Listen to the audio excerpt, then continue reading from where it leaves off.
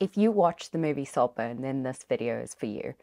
I posted this video on TikTok a while ago about the various literary references in Saltburn and it blew up. You guys all wanted to know what kind of literary references came up in Saltburn, so I thought I would do a video about it today.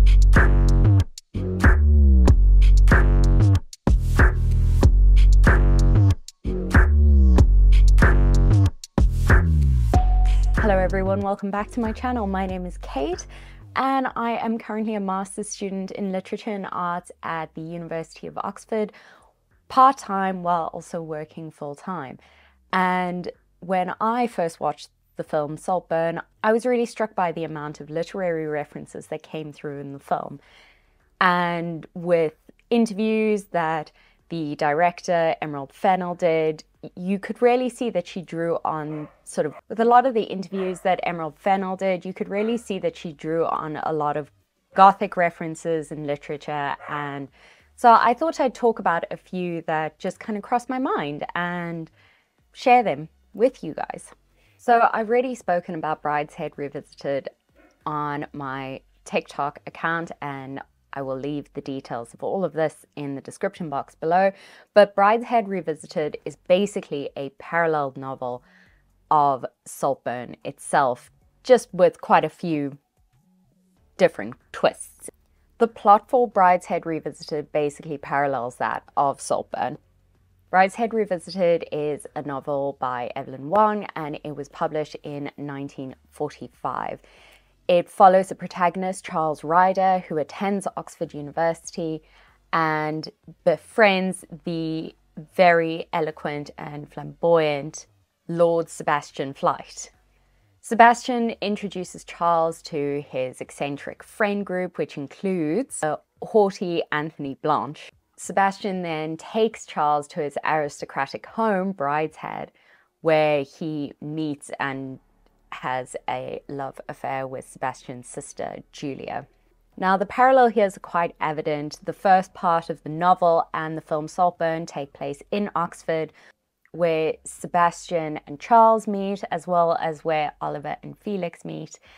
And they both come from different classes, and the the wealthier of the of the pair, Sebastian slash Felix, introduces Charles slash Oliver to his ancestral home, his aristocratic ancestral home, Brideshead or Saltburn.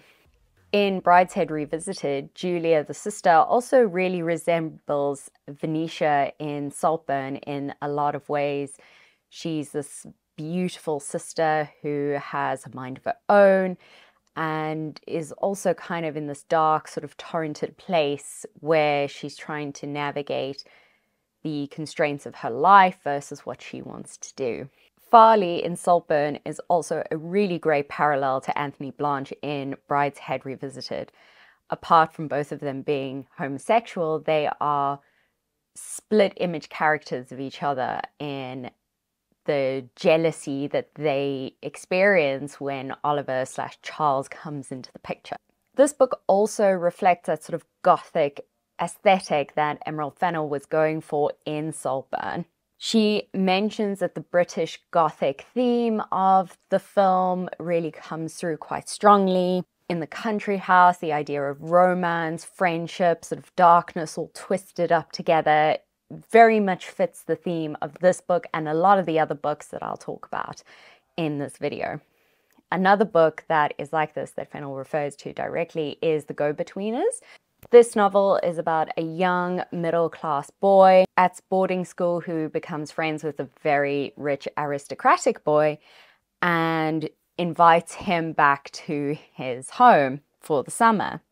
The protagonist then becomes this go betweener between the local farmer and the daughter of the house and is embroiled in this forbidden romance that he doesn't quite understand. Now, the aesthetics of these books, The Go-Betweeners and Brideshead Revisited, are quite evident in Saltburn itself. The Go-Betweeners is an interesting parallel because Oliver's character is the go-between between all of the characters in Saltburn, except he knows exactly what he's doing. He flirts with Elizabeth, he breaks down Venetia's walls quite literally, and he manipulates Felix and Farley. Oliver does get embroiled in the lives of the residents of Saltburn and in their romantic lives quite significantly. He is the go betweener between most of these characters. It's very interesting to see him be this sort of initial outsider that, that then comes into the center of this family unit and becomes that core piece that kind of sits itself in. Another very gothic themed novel that Fennell talks about in interviews is Daphne du Maurier's Rebecca and the gothic sort of murdery mystery vibe that comes with Rebecca also comes into Saltburn quite heavily.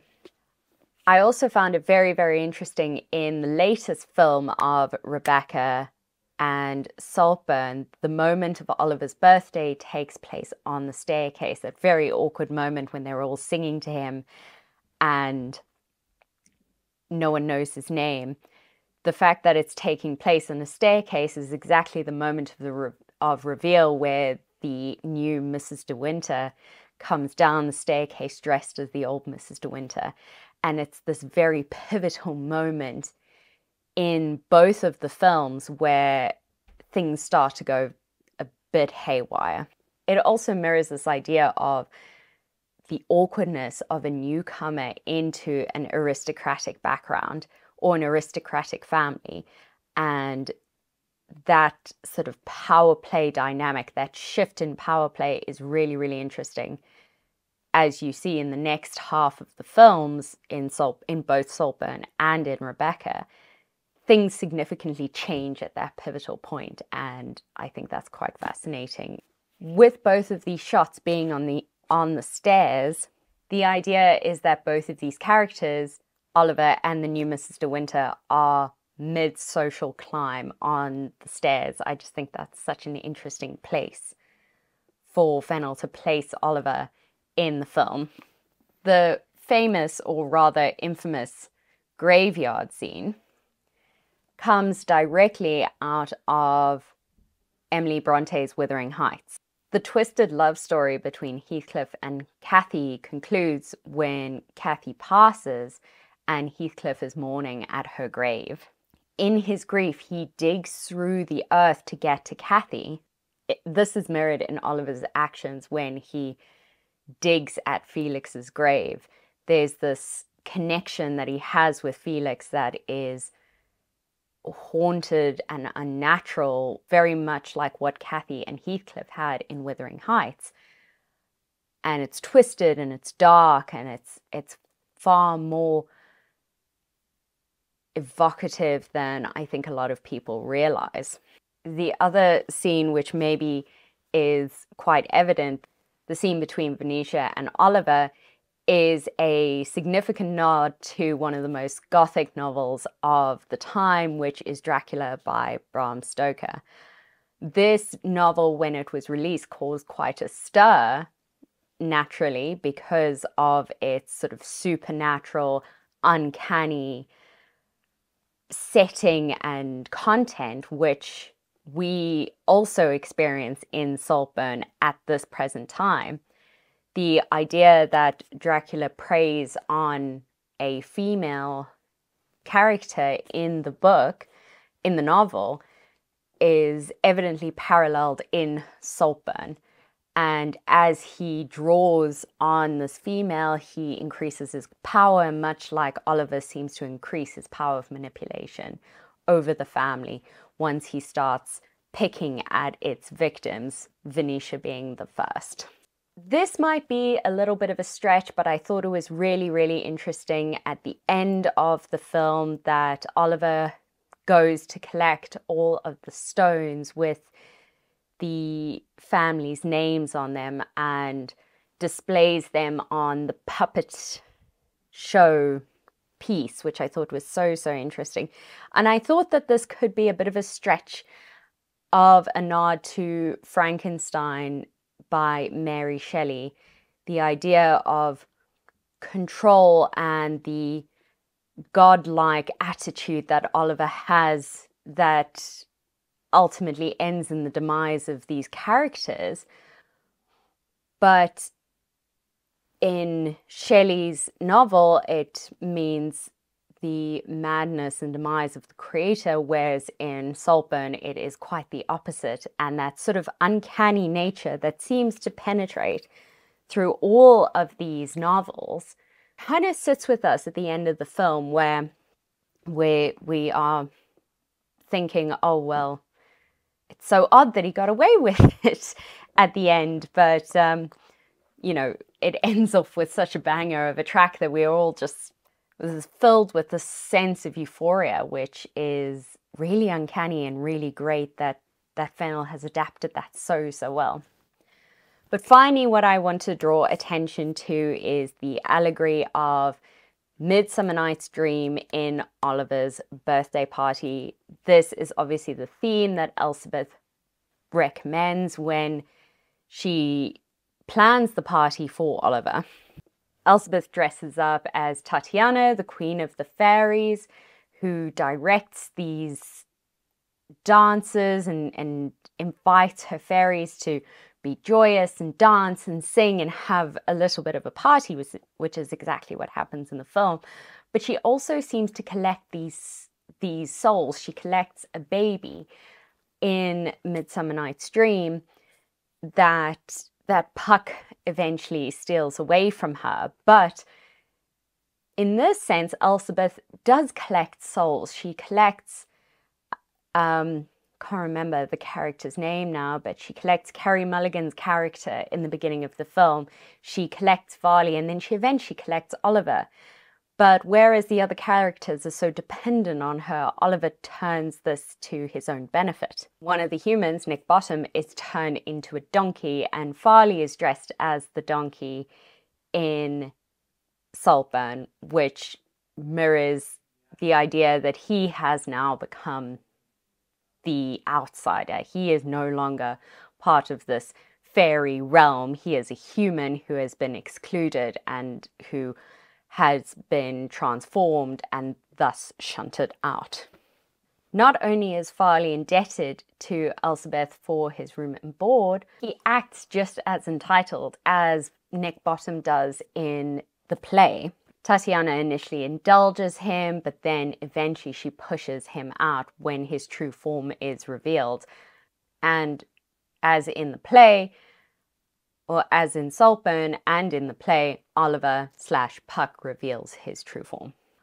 I believe that Oliver's dress kind of tends to his idea of being Puck, the mischievous trickery that is Robin Goodfellow. And I think this is so interesting. I think the idea of him being dressed like the forest, uh, like an animal of the forest, is very, very interesting. His sort of sense of camouflage, but yet his master trickery as he goes about his awful deeds in Saltburn later on is really evident in this mirroring of the party with Midsummer Night's Dream. Another view here is that Felix is the changeling child that Tatiana holds on to and cares for. Puck eventually steals this child away. In a similar way, Oliver steals Felix from Elspeth. There are also many numerous references to Greek and Roman mythology within this film. The idea of the maze in the party and the Minotaur is all part of mythological references that while I know a little bit about, I don't know nearly enough, but I would be happy to explore that more if that is something that you would be interested in. But each time I think about this film, I think of another literary reference, and I'm pretty sure there's some that I've missed out on. So if you have any others that you think that I have missed, please do leave them in the comments below. Let me know what you think about this plethora of literary references in the film Saltburn. And let me know if you enjoyed this video. I often think of I often have these ideas of literary overlays that are in films or TV shows or even musicians. Hozier, for one, is a massive literary invoker. So if you guys like this video, please do give it a thumbs up, like, subscribe, comment, show your appreciation because I can tell you it means so, so much to me. And thank you all for being here. I hope you have a wonderful day and I'll see you all soon. Bye.